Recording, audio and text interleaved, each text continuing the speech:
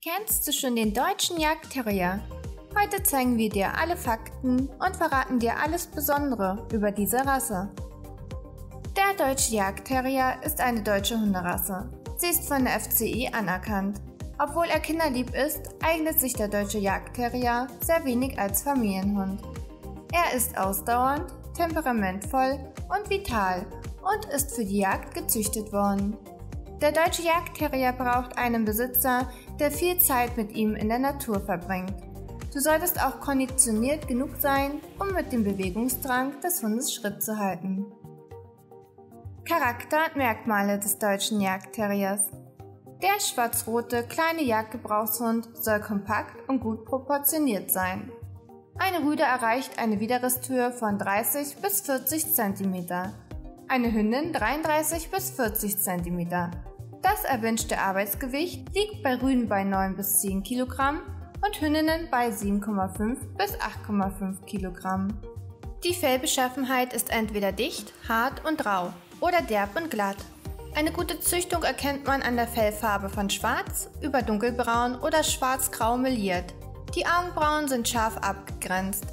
Eine dunkle wie auch eine helle Maske ist erlaubt. Die kleinen Augen treten etwas nach innen um vor Verletzungen bei der Jagd zu schützen. Die Ohren stehen im Ansatz aufrecht. Der deutsche Jagdterrier braucht konsequente Erziehung. Wie alle Terrierrassen kann er sehr eigensinnig sein. Wenn er gut trainiert wurde, ist er dein zuverlässiger Begleiter mit einem starken Charakter. Er wird auch nur auf dich als Bezugsperson hören. Der deutsche Jagdterrier nimmt dann von anderen keine Anweisungen entgegen. Seine ganze Aufmerksamkeit schenkt er nur deiner Person. Er kann Fremden gegenüber auch mit Misstrauen reagieren.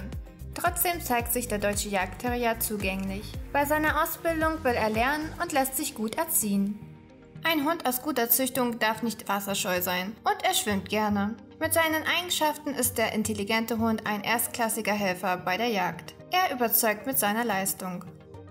Er ist darauf trainiert, Raubwild wie Füchse oder Dachse zu stellen und in ihre Bauten einzudringen. Seine gute Nase spürt Wild sofort auf. Er portiert Enten aus dem Wasser und bringt geschossenes Wild zum Jäger. In der Familie ist es etwas problematisch mit der Haltung eines so spezialisierten Jagdhundes. Er will nur jagen. Viele sind sich nicht bewusst, welche Probleme hier auf sie zukommen können. Seine hohe Leistungsfähigkeit beim Jagen solltest du bedenken. Wenn du diesen Hund als Familienhund halten willst, ist das wichtig. Der deutsche Jagdterrier braucht die Auslastung als Jagdhund. Auch wenn er nicht aggressiv ist und auch nicht scheu, gilt er doch als Vollblut-Jagdhund für den Jäger oder Förster. Allerdings kannst du schwer einen Welpen kaufen, wenn du kein Jäger bist. Zuchtvereine wurden vom Deutschen Jagdterrierclub angehalten, die Welpen des arbeitsfreudigen Hundes nur an Förster und Jäger abzugeben. Weil dieser Club für die Züchter sehr wichtig ist, halten sie sich auch daran. Die richtige Ernährung des deutschen Jagdterriers. Jeder Hund ist individuell, deshalb braucht er auch individuelle Nahrung. Für den deutschen Jagdterrier eignet sich ein Futter, das seinen Bedarf deckt und keine Unterversorgung auftritt. Der deutsche Jagdterrier kann bis zu 150 Kilometer am Tag zurücklegen, wenn er seiner Arbeit als Jagdhund nachgeht. Das Futter soll immer auf seine speziellen Eigenschaften abgestimmt werden. Dazu gehören Alter und Gewicht. Der Kräfteverbrauch und auch eventuelle Allergien sind zu beachten. Bei Arbeiten im Fuchsbau unter der Erde oder bei der Jagd im Wasser ist der Kräfteverbrauch enorm hoch. Wenn der deutsche Jagdterrier mehr Energie verbraucht, hängt es auch von der Intensität der Belastung ab, welche Nahrung er aufnehmen muss. Bei einem mehrstündigen Trab auf einer Jagd steigt der Energiebedarf auf das zweieinhalbfache. Bei Hetzjagden, bergigem Gelände oder bei Stress braucht er noch mehr. Die wichtigsten Lieferanten für die Energie des deutschen Jagdterriers sind Zucker, Stärke und Fette. Eiweiß kann dazugegeben werden, dient jedoch speziell zum Aufbau des Körpergewebes. Die Mineralstoffe Calcium und Phosphor braucht der Jagdhund, um die Knochen stabil zu halten. Alle Kohlenhydrate, Eiweiße und Fette werden in größeren Moleküleinheiten miteinander verbunden. So erhält der deutsche Jagdterrier die optimale Ernährung. Bei großen Belastungen sollte der deutsche Jagdterrier eine fettreiche Nahrung erhalten. Mit speziellen Futtermischungen ist es möglich, seinen Bedarf an Energie zu decken. Dadurch wird der deutsche Jagdterrier leistungsfähiger und der Magen erfährt eine weniger große Belastung. Die Pflege des deutschen Jagdterriers die Fellpflege des deutschen Jagdterriers ist wirklich einfach. Trimmen, Entfernen der Unterwolle ist nicht nötig. Bürste ihn regelmäßig einmal am Tag. Das reicht aus. Du solltest ihn nur im äußersten Notfall bahnen. In der Regel badet dieser Hund bei Jagden nach Wasservögeln selbst in Seen oder Flüssen. Der natürliche Fettschutz der empfindlichen Hundehaut sollte nicht durch Shampoos unnötig zerstört werden. Wenn du ihn baden musst, dann nur mit einem speziellen Hundeshampoo oder einem milden Babyshampoo. Eine regelmäßige Kontrolle der Augen, Ohren und dem Gebiss sollte für dich selbstverständlich sein. Der robuste deutsche Jagdterrier liebt die Natur und schläft lieber draußen. Als reiner Wohnungshund fühlt er sich nicht wohl. Deshalb ist es in seinem Fall durchaus möglich, den Terrier nur im Zwinger zu halten. Trotzdem sollte er ab und zu bei dir und der Familie im Haus sein, weil er ein Rudeltier ist.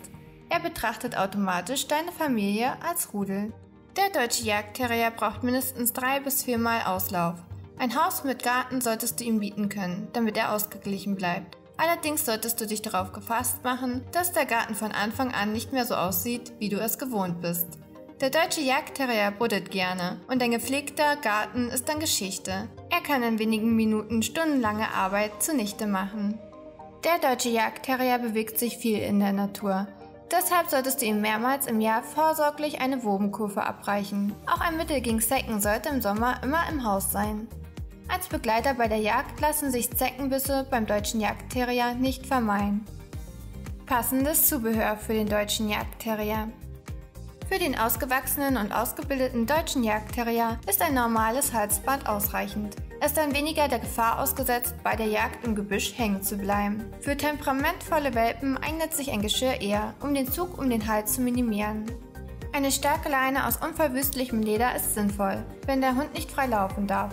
Als Jagdhund hat der deutsche Jagdterrier die natürliche Gabe zum Apportieren. Stöckchen oder Ball holen ist seine Lieblingsbeschäftigung. Herkunft und Geschichte des deutschen Jagdterriers. Bereits 1760 wird der deutsche Jagdterrier vom Schriftsteller Daniel beschrieben. Er war auch ein Terrierzüchter. Er beschreibt die beiden Arten, das Fell und die Farben und die Körperform so, wie wir sie heute kennen.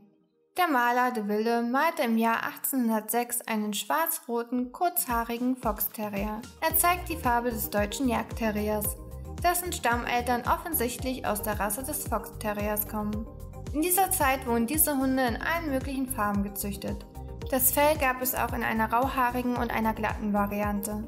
Auch bei anderen Terrierarten kommen diese Farben heute vor. Alle diese Varianten kommen den Farben dieses Terriers nahe. Der Fox Terrier war zwischen 1920 und 1930 auf dem besten Weg, seine Jagdeigenschaften zu verlieren. Er wurde zum Modehund hochstilisiert. Deshalb trennte sich eine Gruppe deutscher Bodenjäger von der Sportzucht der Fox Terrier. Diese Gruppe bestand aus Karl E. Grünewald, Dr. Herbert Lackner, Werner Zangenberg und Rudolf Fries. Sie wollten die Förderung, Erhaltung und Verbesserung der vererbten Jagdeigenschaften der Rasse wieder fördern. Auch der längere Rücken, die gedeckte dunklere Farbe des Fells und die Beinstellung wurden beachtet. Werner Zangenberg kaufte den Wurf und begann die Zucht des deutschen Jagdterriers. Es wurden Fox Terrier eingekreuzt, um die volle Leistung der Hunde zurückzubringen. Doch die weiße Farbe tauchte vermehrt wieder auf. Letztendlich ist es Karl E. Grünewald und Dr. Herbert Lackner gelungen, den altenglischen Rauhaar-Terrier in England ausfindig zu machen. Dieser brachte gute Eigenschaften für die Jagd mit und die gewünschte Farbe. Sie importierten drei Hunde und die schwarz-rote Farbe wurde durch die Kreuzung endgültig gefestigt. Diesen Männern verdanken wir es, dass die Zucht erfolgreich war. Die Züchtung brachte einen Hund hervor, der Eigenschaften für die Jagd hat, die bis heute beim deutschen Jagdterrier erhalten sind. Jetzt möchten wir deine Meinung wissen. Hast du selbst einen deutschen Jagdterrier? Oder wie gefällt dir diese Rasse? Schreib es unten in die Kommentare.